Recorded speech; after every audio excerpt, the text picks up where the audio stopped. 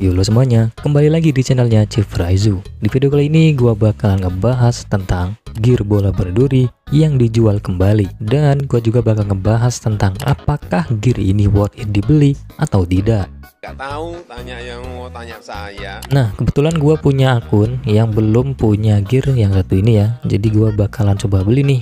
Lumayan tuh ya, daripada gemesnya nganggur mending kita beliin aja deh. Nah, langsung aja kita beli. Pertama kamu klik tokonya Om Bota. Nah, dia ada di paling atas ya. Dan buat kalian player baru ya baru comeback, gua ambil contoh akun yang ini ya. Nah, akun ini tuh sama sekali belum punya gear epic. Dan kalau misalnya kamu pengen beli, kamu bisa klik tokonya Om Bota, kemudian kamu geser ke bagian bawah. Oke. Oke langsung aja gua bakalan beli seharga 1500 ya Oke tampilannya seperti ini kita bakalan lihat previewnya Nah untuk gear ini worth it atau enggak gua bakalan jawab sangat-sangat worth it ya. Sebagai contoh gua bakalan praktekin di TH12 menggunakan gear kumis dan bola berduri.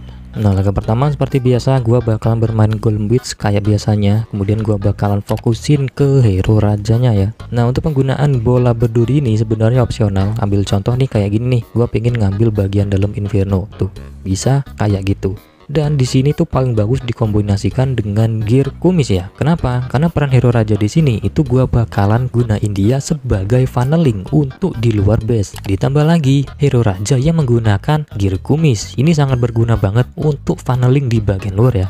Karena dengan menggunakan itu, HP dari hero raja kamu bakalan awet banget. Bohong. Oke mungkin gitu aja untuk video singkat kali ini. Semoga video ini bermanfaat dan kita jumpa lagi di video selanjutnya